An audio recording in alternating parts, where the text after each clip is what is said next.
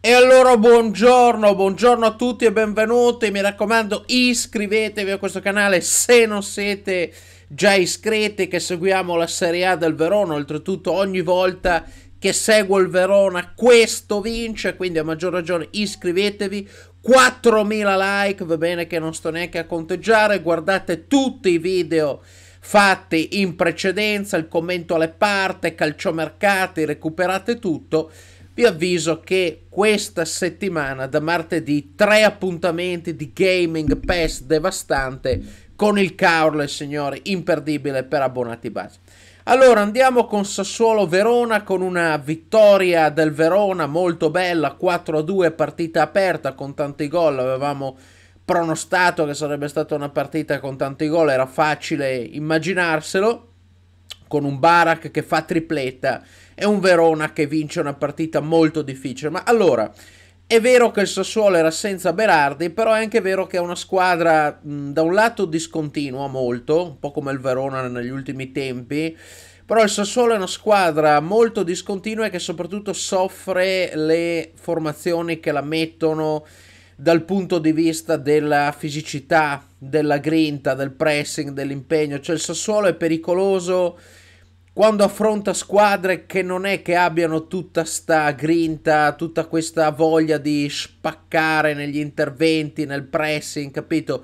Se il Sassuolo trova squadre che non hanno un pressing così devastante e la mettono dal punto di vista della tecnica, vedi la Lazio, vedi per certi versi anche la Fiorentina in quel di Firenze, può fare male. Se trova squadre che la mettono dal punto di vista della grinta, del pressing, va in difficoltà. Infatti aveva perso anche col Torino in casa, ha perso col Verona che è una squadra molto simile. E vi dico anche di più, è una squadra che ha peccato un po' l'approccio anche a livello mentale e, e l'ha sbagliato anche Dionisi la formazione perché ti manca Berardi, non ho capito questa scelta di mettere Muldur come pseudo trek esterno sulla tre quarti. Muldur è un ottimo terzino, fallo giocare lì. Oltretutto non gioca neanche spesso e lo farei giocare di più l'ha messo oggi in un ruolo sbagliato, poteva iniziare la partita con De Frel. Dionisi che, vi ripeto, un allenatore che sta facendo vedere degli ottimi margini di crescita, sta facendo vedere delle ottime cose allenatore che ho potuto anche vedere e osservare da vicino in quel di Venezia dove ha fatto un ottimo lavoro. Però ecco, questo Sassuolo qua pecca un po' dal punto di vista della continuità, anche della cattiveria a volte. Io Dionisi ce lo vedrei bene anche in un potenziale post Murigno alla Roma, se le cose dovessero mettersi male in quest'anno verso fine stagione. Io Dionisi alla Roma ce lo vedrei molto bene. Però è vero anche che il Sassuolo è una squadra che mh, mm, è un po' troppo discontinua e che sono convinto che ha margini di crescita che possa fare ancora meglio. A volte queste battute d'arresto un po' che minano. Per il resto ho visto un'ottima partita di, di Scamacca, ancora una volta, per poco va vicino anche al secondo gol con quel tiro lì sul palo bellissimo. E mi è piaciuto anche Kiriakopoulos, che per comodità chiameremo Kiriopoulos. Mi, mi è piaciuto molto Kiriakopoulos, giocatore di sostanza, di verticalità, un bel prospetto da, da tenere sott'occhio anche per squadre di medio medio-alta classifica questo Kiriakopoulos qua. Il Verona cosa dire? Parto dalle cose che un po' magari hanno funzionato meno. Su tutte penso che al Verona manchi un leader difensivo. Perché è vero che Davidovic è infortunato, manca Davidovic da un po' di tempo, però anche lui è un ottimo difensore, è un ottimo stopper, però non è un leader. Io per leader difensivo intendo un tuo Ferrari, per intenderci, un tuo Acerbi, cioè un giocatore, un tuo Kier, capito? Uno che guidi la difesa senza nessun tipo di dubbio, senza nessun tipo di remora. Questa è un po' una cosa che al Verona manca che al Verona manca da tempo. Forse l'hai sentita meno il primo anno perché c'avevi Kumbulla, perché c'avevi Ramani, gente di sto tipo che magari era una difesa un po' più liquida. Nella difesa di quest'anno per me manca un leader perché non lo è Ceccherini.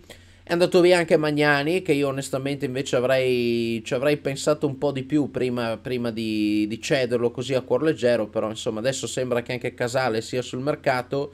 E dicevo, al Verona manca un leader difensivo, manca qualcuno che lo metti dentro e sai, sai che è lui a guidarti la difesa, sai che indipendentemente dalla partita lo fa. Gunter anche per esempio, Gunter mi ricorda un po'...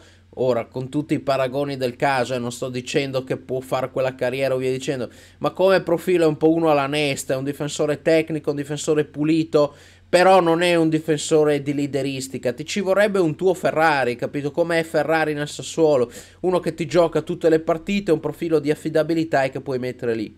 Poi un'altra cosa avrei, su cui sarei andato sul mercato, parlando di mercato, parlo di Freudo del narcomercato, come diceva il grande Gue Pechegno, Striger Larsen, c'era un'occasione di mercato per me tra Striger Larsen e De Paoli c'è un, c'è un abisso veramente. De Paoli è un giocatore che non è che, si, che ti dia questi fomenti. Poi capisco il discorso del mercato che prendi un profilo giovane che può fare bene, però tutto sommato magari mi sbaglio, non è che ci vedo tutto tutto sto mil... Cioè, De Paoli per me non è uno che prendi oggi e tra due anni ti vale 30 milioni. Cioè, è un profilo di questo leverage qui, capito? Un giocatore di questo tipo. Striger Larsen era uno che, contando che può giocare sia a sinistra che a destra, è uno che lo aggiungevi in squadra, ti poteva essere un'alternativa di livello e soprattutto è uno che ti può giocare come, il Caur, come, come sta facendo nel Caorle del resto, è uno che ti può giocare anche nei tre di difesa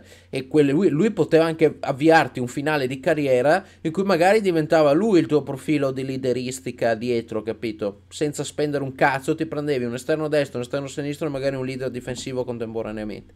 Poi per il resto ottimo Verona a livello di garra, di grinta, di approccio, anche sul 3-2 quando sembrava che il Sassuolo potesse riagguantarla, è stato bravo il Verona a fare una partita anche maschia, una partita sporca. È stato bravo a metterlo sempre dal punto di vista del pressing, della voglia. Ho visto un Verona con più fame e anche con, con ottima qualità nelle uscite. Quando c'hai un Barak così, cioè, eh, non è che c'è molto da vedere. Con uno stile di Barak così, le difese avversarie possono accompagnare solo, partita totale. Ma se devo dire uno che mi ha fomentato, posso? Posso dire che Kalinic mi ha fomentato più di, più di Barak quest'oggi. Oh, Kalinic è entrato, ha menato, ha fatto sentire la presenza con fisicità e via dicendo. Si è fatto menare, ha fatto un passaggio. Se, quel, se, quel, se l'assist di Kalinic lo fa di bala, ne parlano per un mese. Se l'assist di Kalinic lo fa di bala, ne parlano per un mese. Poi bravissimo Barak con il lob a scavalcare. Simeone partita, ecco, diciamo che se devo dire tra Simeone e Scamacca che mi è piaciuto di più dico Scamacca, però Simeone ha il merito di essersi preso rigore su, su Kirikes che è veramente un difensore che io non riesco a capire come faccia a giocare titolare ma avrò dei limiti io. Bene, bene Simeone comunque quest'oggi bene Kalinic, bene Barak, bene Caprari che timbra sempre il cartellino bene Tamese quando è entrato bene anche gli esterni tutto sommato Lazovic grande qualità. Diciamo un classico Verona il Verona tudoriano nella sua miglior forma voglia, grinta paradossalmente un'attrazione un po' più difensiva del Verona degli ultimi due anni, ma qualche, qualche pecca difensiva in più.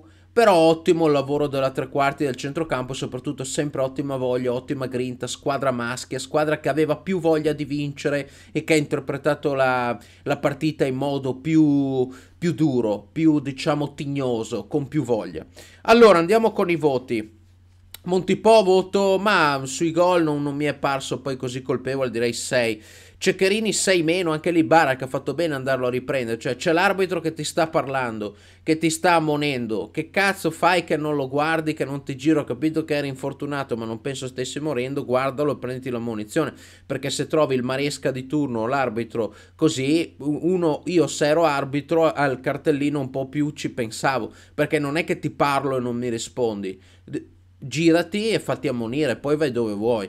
6 meno, Gunther sul gol un po' colpevole, 6 meno anche lui, Casale 6, De Paoli 6 meno, Tamese 6 e mezzo, Veloso 6 più, Lazovic 6 e mezzo, Barak 7, Caprari 6 e mezzo, Simeone 6 più per il rigore, se no però diamo 6 più, Faraoni 6 più, Kalinic 6 mezzo, Lasagna 6, Bessa 6 più, Coppola 6, voto a Tudor 6,5. Questa è la mia analisi della partita. Adesso vedremo come andrà il calciomercato, vedremo quali saranno le situazioni che il Verona seguirà.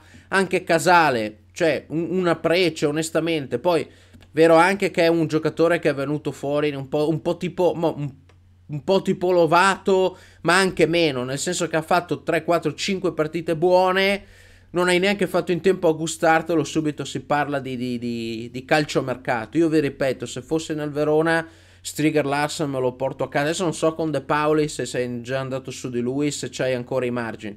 Però, cioè, vi invito, chiudo questo video con un, con un invito alla riflessione. Prendevi Striger Larsen, ti portavi a casa, esterno destro, esterno sinistro, leader difensivo. Caro saluto.